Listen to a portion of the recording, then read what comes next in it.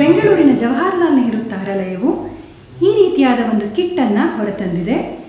ಈ ಕಿಟ್ನ ಬಳಸಿ ನಾವು ಚಂದ್ರನ ಕಲೆಗಳು ಮತ್ತು ಚಂದ್ರನ ಭ್ರಮಣೆ ಮತ್ತು ಪರಿಭ್ರಮಣೆಗಳನ್ನು ಅರ್ಥ ಮಾಡಿಕೊಳ್ಳಿಕ್ಕೆ ಸಾಧ್ಯ ಆಗುತ್ತೆ. ಬನ್ನಿ, ಇವಾಗ ಈ ಕಿಟ್ನಲ್ಲಿ ಏನೆಲ್ಲ ಬರುತ್ತೆ ಅನ್ನೋದನ್ನು ನೋಡೋಣ. ಮೊದಲನೇದಾಗಿ ಈ ಕಿಟ್ನಲ್ಲಿ ಈ ರೀತಿಯಾದಂಥ ಎರಡು ಕಾಗದದ ಮಾದರಿಗಳು ಬರುತ್ತೆ. ಒಂದು, ಚಂದ್ರನ ಕಲೆಗಳು ಅಥವಾ ಬಿಂಬಾವಸ್ಥೆಗಳನ್ನು ಅರ್ಥ ಮಾಡಿಕೊಳ್ಳಲಿಕ್ಕೆ ಸಹಕಾರಿಯಾಗುತ್ತೆ. ಮತ್ತೊಂದು, ಚಂದ್ರನ ಭ್ರಮಣೆ ಮತ್ತು ಪರಿಭ್ರಮಣೆಗಳನ್ನು ಅರ್ಥ ಮಾಡಿಕೊಳ್ಳಲಿಕ್ಕೆ ಸಹಕಾರಿಯಾಗುತ್ತೆ. ಇದರ ಜೊತೆಗೆ ಈ ರೀತಿಯಾದಂಥ ಒಂದು ಮರದಿಂದ ಮಾಡಿರುವಂಥ ಒಂದು ಸಣ್ಣ ಗೋಳದಾಕೃತಿ ಏನಿದೆ ಇದು ನಮ್ಮ ಚಂದ್ರನ ಪ್ರತಿನಿಧಿಸ್ತಾ ಇರುವಂಥ ಗೋಳ. ಇದರ ಜೊತೆಗೆ ಒಂದು ಈ ರೀತಿಯಾದ ತಳ ಇರುವಂಥ ಒಂದು ಮರದಿಂದ ಮಾಡಿರುವಂಥ ಒಂದು ಆಕೃತಿ ನಮಗೆ ಕಿಟ್ನಲ್ಲಿ ದೊರಕುತ್ತೆ. ಜೊತೆಗೆ ಈ ರೀತಿಯಾದಂಥ ಒಂದು ಇಲಾಸ್ಟಿಕ್ ದಾರ ನಮಗೆ ಈ ಕಿಟ್ನಲ್ಲಿ ಇರುತ್ತೆ. ಇವುಗಳೆಲ್ಲವನ್ನು ಬಳಸ್ಕೊಂಡು ನಾವು ಚಂದ್ರನ ಕಲೆಗಳು ಮತ್ತು ಚಂದ್ರನ ಭ್ರಮಣೆ ಮತ್ತು ಪರಿಭ್ರಮಣೆಗಳನ್ನು ಅರ್ಥ ಮಾಡ್ಕೊಳ್ಳೋಕ್ಕೆ ಸಾಧ್ಯ ಆಗುತ್ತೆ. ನಾವೀಗ ಈ ಕಾಗದ ಮಾದರಿಯನ್ನು ಬಳಸ್ಕೊಂಡು ಚಂದ್ರನ ಕಲೆಗಳು ಅಥವಾ ಚಂದ್ರನ ಬಿಂಬಾವಸ್ಥೆಗಳು ಹೇಗೆ ಉಂಟಾಗತ್ವೆ ಅನ್ನೋದನ್ನು ತಿಳ್ಕೊಳ್ಳೋ ಪ್ರಯತ್ನ ಮಾಡೋಣ.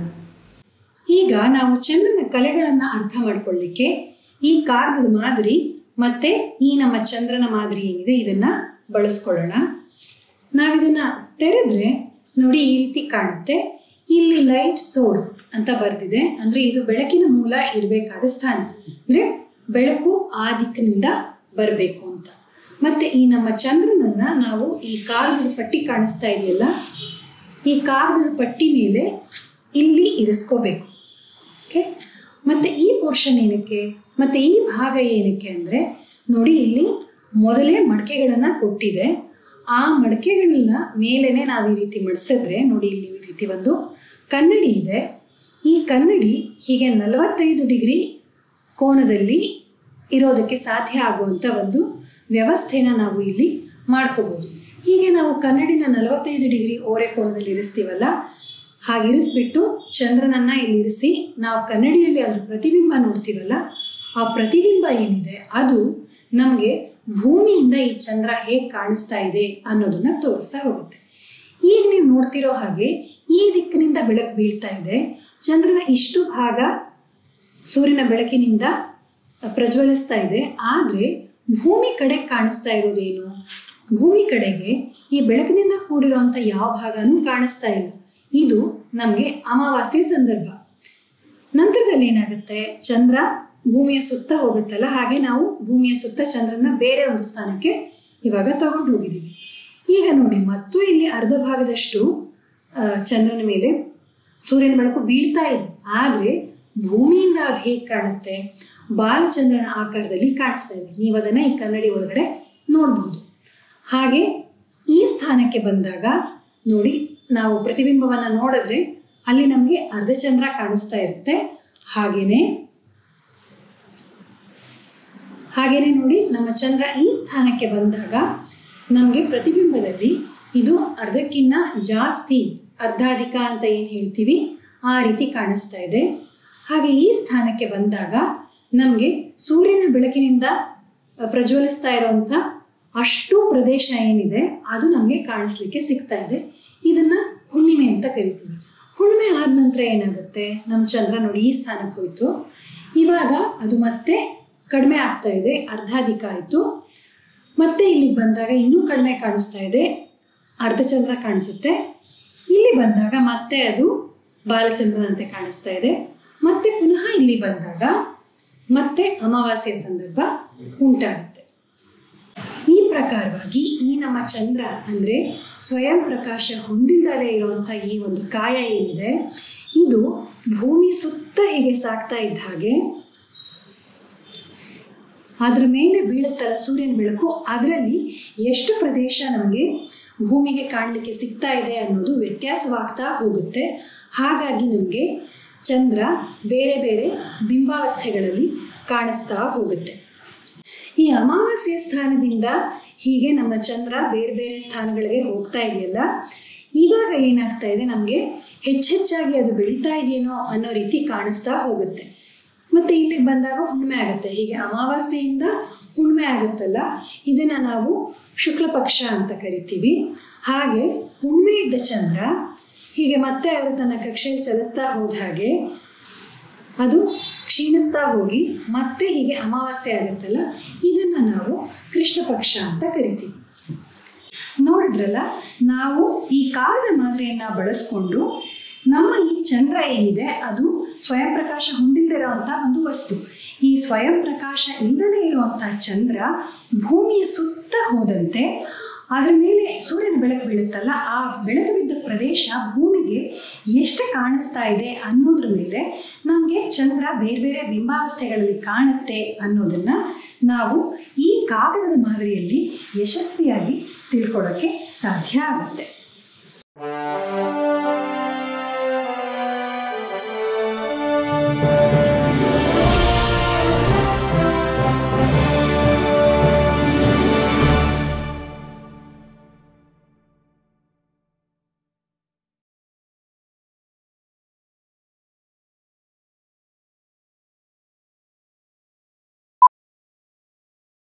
Jawaharlal Nehru Planetarium Bengaluru has produced a kit with the help of which we can understand the phases of moon as well as the rotation and revolution of the moon. Now we shall open the kit and see what actually it contains. The kit has two such paper models, one for the phases of moon and the other for rotation and revolution of moon.